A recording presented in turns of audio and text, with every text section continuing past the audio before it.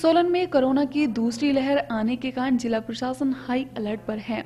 जिला वासियों को कोरोना वैक्सीन लगाने के लिए जागरूक किया जा रहा है। प्रशासन द्वारा जिला में टीका महोत्सव मनाया जाएगा, जिसके लिए प्रशासन द्वारा पूर्ण तैयारी कर ली गई है। प्रशासनिक अधिकारियों ने भी वैक्सीन की डोज लगा ली है। उपायुक्त सोलन ने सोलन के क्षेत्रीय अस्पताल में कोरोना की दूसरी डोज लगाकर लोगों में भय खत्म करने का प्रयास किया। उन्होंने कहा कि इसके शरीर पर कोई विपरीत असर नहीं पड़ते हैं, इसलिए अपने को सुरक्षित रखने के लिए कोरोना वैक्सीन अति आवश्यक है। अधिक जानकारी देते हुए उपायुक्त सोलन केसी चमन ने कहा कि कोरोना की दूसरी लहर हिमाचल में प्रवेश कर चुकी है। ये लहर बेहद खतरनाक बताई जा रही है और बहुत ज़्यादा रफ्तार से कोरोना हिमाचल में फैल रहा है।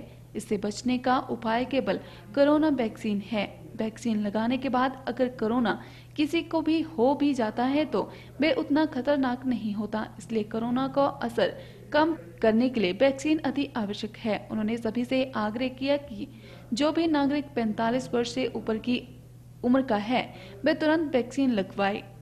पहला डोज था 20 फरवरी को लगा था। तो मेरा बिल्कुल मैं छः हफ़्ते के बाद जो आई का जो प्रोटोकॉल है उसके अनुरूप मेरा सेकंड डोज आज लगा है। मेरा सभी लोगों से ये आग्रह है, जो 45 प्लस के आदमी हैं सब के सब इंजेक्शन लगाएँ वैक्सीनेशन करवाएँ और इसका दोनों डोज को लगवाएँ। क्योंकि इससे जो कोरोना की जो सेकंड लहर, जो बहुत घातक है, बहुत तेज़ी से संक्रमण हो रहा है इसमें कम से कम एक बात बहुत सुनिश्चित है, जिन्होंने वैक्सीन लगाई है, उनके पर, उनको घातक परिणाम नहीं आएँगे। और दूसरा ये है कि जो 45 प्लस के लोग हैं, जो अभी हमारा टीका महोत्सव अब परसों से शुरू है, हमारे 100 वैक्सीनेशन साइट पूरे ज़िले में है। सभी लोगों से आग्रह है कि वहाँ पे नज़दीकी वैक्सीनेशन साइट में जाके टीका, अपना टीकाकरण करवाएँ। जब ये 45 प्लस के लोग ही पूरे सेचुरेट हो जाएँगे, तभी आगे वाले दूसरे लोगों को मौका मिलेगा। तो मेरा ये है कि एक तो आप खुद ही सुरक्षित रहें और जल्दी से टीकाकरण लगवाएँ ताकि 45 के अलावा जो दूसरा ग्रुप और यंगर ग्रुप का रह जाता है, उनकी बारी आएगी।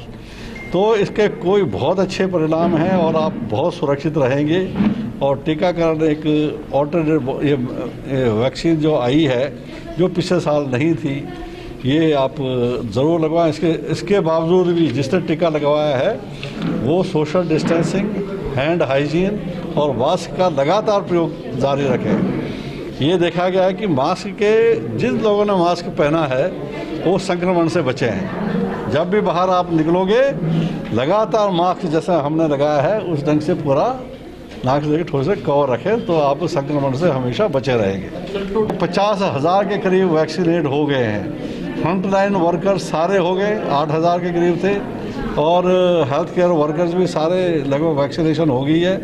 और कुल मिला के हमारी जो वैक्सीनेशन की जो रफ्तार है हर रोज़, लगभग साढ़े चार हज़ार के लोगों को वैक्सीन पूरे ज़िले में लग रही है।